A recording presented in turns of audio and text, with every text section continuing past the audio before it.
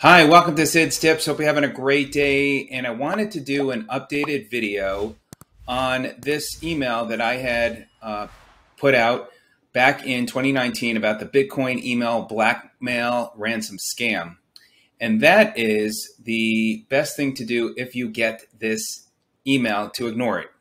But what I would also recommend doing, if it makes you feel better, is to set up a new password and do two step verification. Now, I'll put a link to this video so you could take a look, see what other people have to say, and if it makes sense, you can, um, you know, get some further information. But I think the best thing is to just ignore it, change your password, and do two step verification. You should be all set.